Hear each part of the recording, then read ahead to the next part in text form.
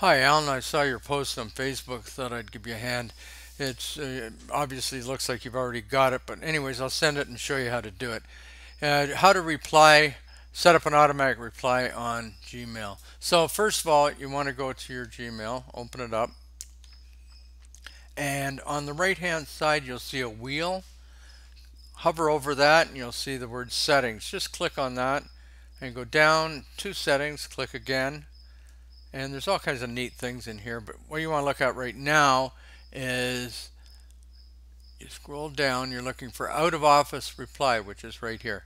So first of all, you can have it on or off. Mine's off, obviously, because I'm not lucky like you and going away.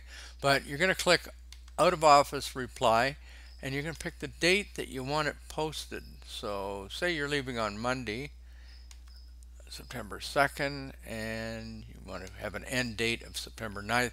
So that means that you're, you're, this is what's going to happen. It's going to go on. Everybody will see it on September 2nd, and September 9th, it'll shut off and go back to the way it was before.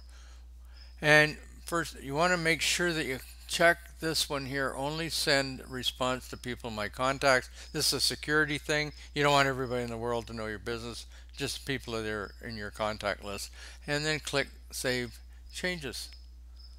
And that's it. Have a great vacation. Bye now